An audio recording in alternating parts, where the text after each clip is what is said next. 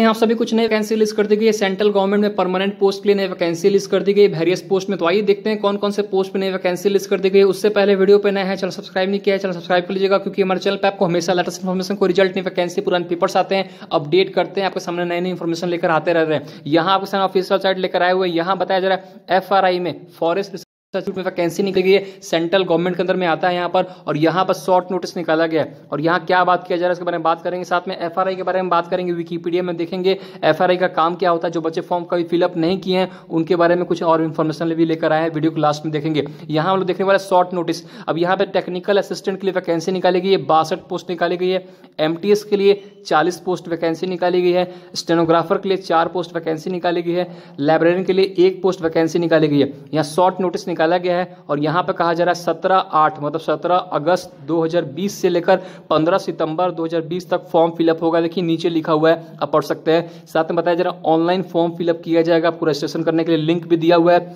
जो सत्रह अगस्त से एक्टिवेट हो जाएगा। तो ये एक नोटिस निकाला गया था, शॉर्ट नोटिस निकाला गया था। अब बात कर लेते हैं एफआरआई के बारे में। जो बच्चे कोई फॉर्म फिलअप नहीं किए हैं एफ़ के बारे में, उनको पता होना चाहिए कुछ यहाँ पर। तो देखिए, एफआरआई है क्या?